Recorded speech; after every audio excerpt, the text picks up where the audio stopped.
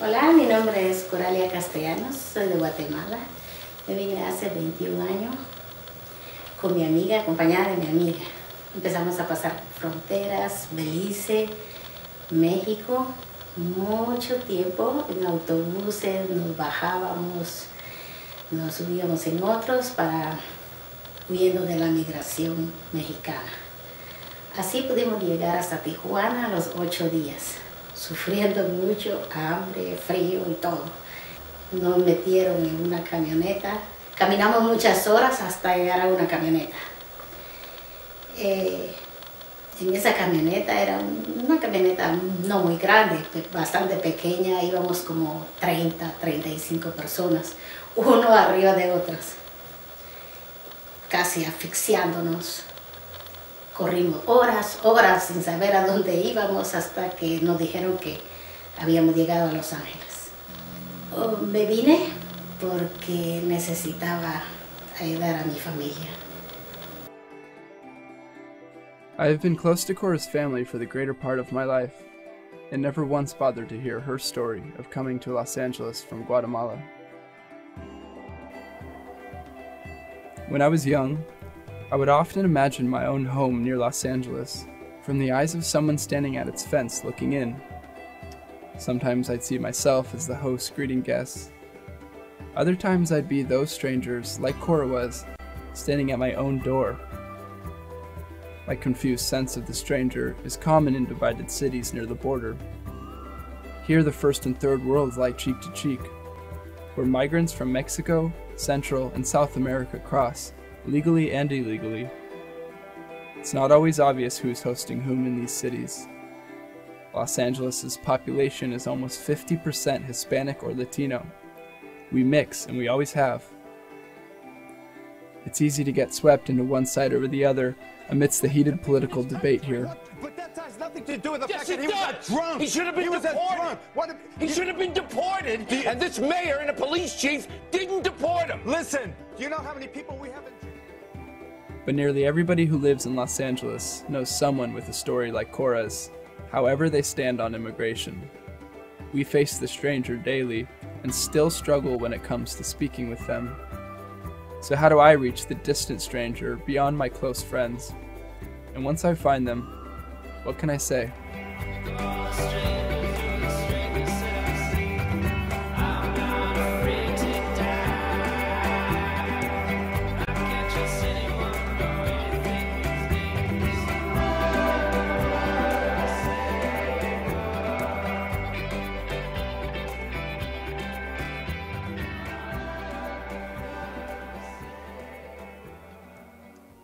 The border itself poses great problems for exchanging dialogue.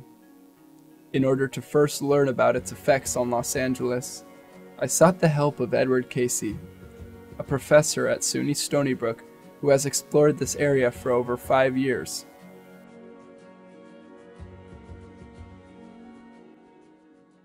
Borders are always culturally, historically, politically constructed entities. They're, they're, they're not found in, in nature, as, as I understand them. They are imposed, they are created, they're constructed, um, uh, they are drawn.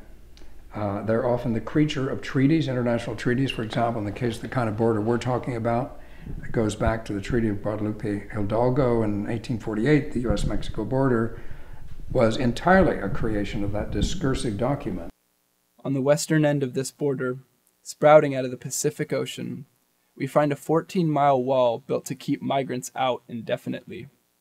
But they have found ways to avoid it. Most notably, recently, it's the drug uh, cartels who are very ingenious at tunneling under the wall. Vast tunnels, air conditioned, well lit, um, uh, easy avenues back and forth for drug traffic.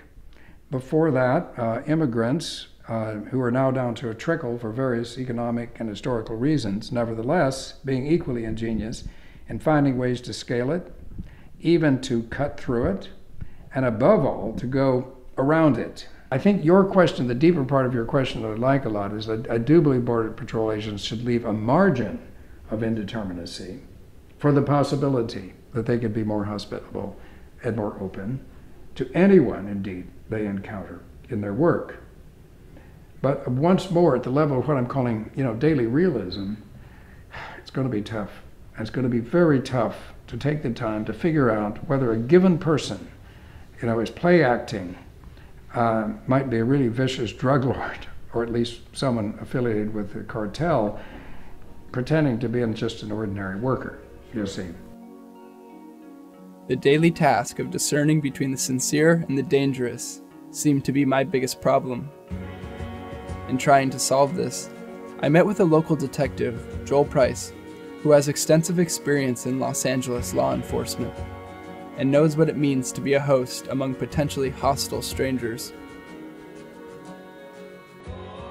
I think when I think of the word host and, and versus stranger, uh, I think of a host as being somebody who is allowing someone to to visit them, to uh, come and spend time with them uh, on an invitation basis, uh, and or somebody who has gone through the process to uh, complete whatever documentation and obtain whatever permissions they need in order to come and in this case into another country. I get I guess I get the question. Um, I don't really know I know how to respond to the host portion of it. I don't really know how to respond to the stranger portion of it. Or maybe I have. I don't know. Joel shared in my confusion of the stranger's position. But he did mention efforts to reconnect with immigrants through a mandate Chief Daryl Gates implemented in 1979 called Special Order 40. With this in place, policemen in Los Angeles cannot seek out an immigrant solely to judge their legal status. Daryl Gates um, signed this Special Order 40 into into laws because he saw, even back in 1979, that the population in Los Angeles was changing, and that um, we didn't want people who were here illegally to be fearful of the police. We didn't want them to to not report crimes for fear that their status in the U.S. would be questioned and that they would then be removed. And that, that, has, that has continued to be the case uh, for the last 30 some odd years since, since I've been a member of the department. And I think it's the right way to do things. I really do. Uh, that's not to say that at the same time, I don't think that we can do better.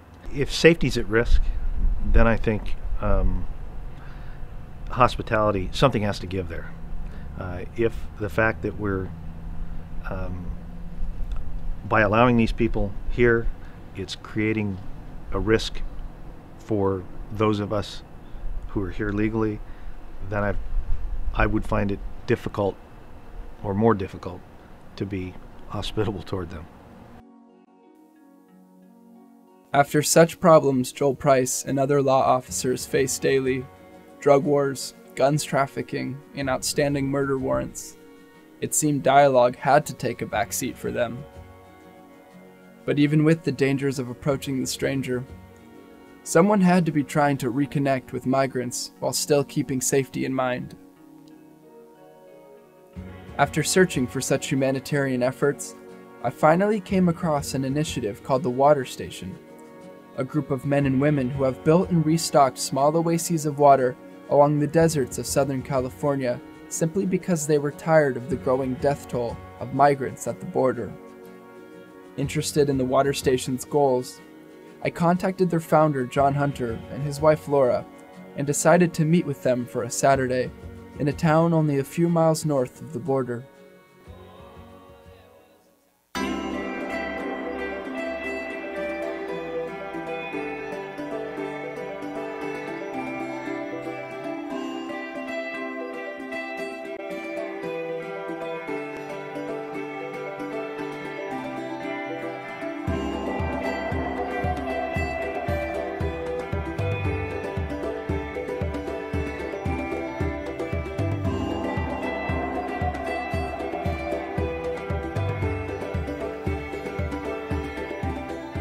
Driving down uninhabited desert roads, we were simply told to refill barrels with one gallon jugs of store bought water.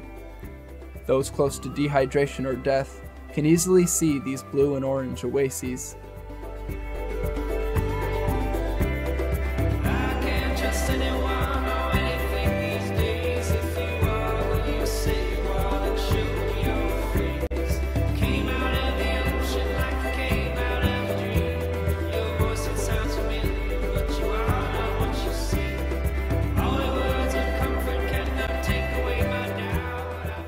Eventually returned to the cafe for a lunch break. I was able to sit down and ask the group how they began such controversial work and why they have continued doing it for over 11 years. This is my backyard. I live about 100 miles from here, and they have all these people dying these horrible deaths with no, uh, no strong effort made to stop it. To me, is un-American.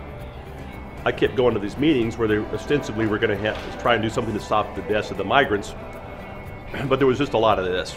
Okay, I do come from a conservative family. I'm a Republican, although I tend to tend to vote for uh, whoever I feel like it these days. You know, I always thought we were the good guys, and the good guys don't let innocent people die in their backyards, right? But two weeks ago, there were two young guys in the desert. They had gotten separated from their group.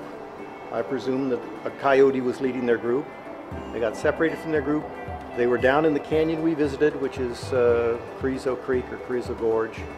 Um, and the first thing they'd done is they'd found our water. They could have been in danger for their lives without that. Eventually, um, they turned themselves into the Border Patrol and went back to Mexico. Now, to me, that's a good outcome.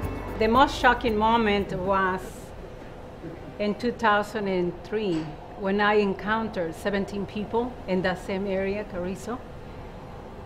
You know, it really bothered me, it really saddened me. And I get a little bit emotional.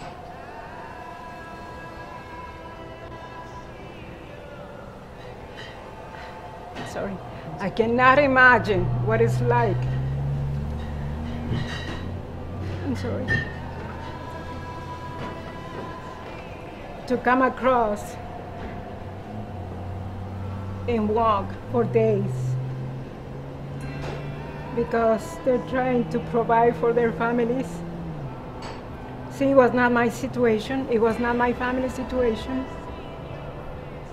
But to me, those people are heroes, like the ones that don't make it from the war defending this country. Even with this clear message of saving lives, it's difficult to get that point across to everyone. What if migrants plan their routes according to these spots? What if I just gave water to a criminal?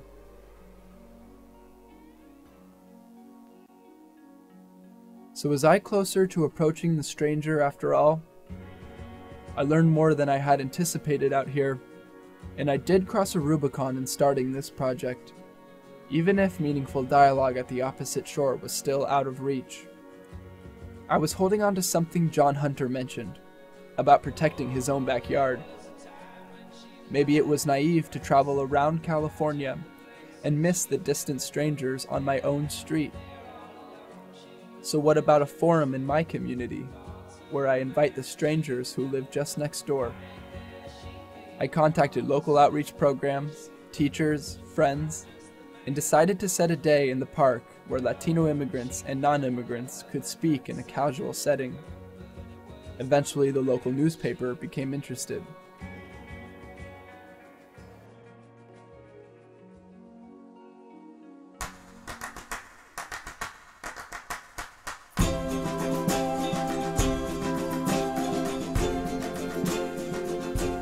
I was able to meet with three immigrants willing to tell their stories to us. Monica Garcia came over from Peru and now works for an immigration service website in Los Angeles. Veronica Bass came from Mexico and became a math and Spanish teacher at our local high school. And Anahi Quiros crossed the border multiple times from Mexico. She is still undocumented, but an outspoken activist in the community. Yet, as anyone could tell, immigrants were still apprehensive about showing up to this forum or speaking on camera. I might have only found that forums like these help you begin the conversation. To sense the call of the stranger and answer back, simply sit down with me, and we'll start from there.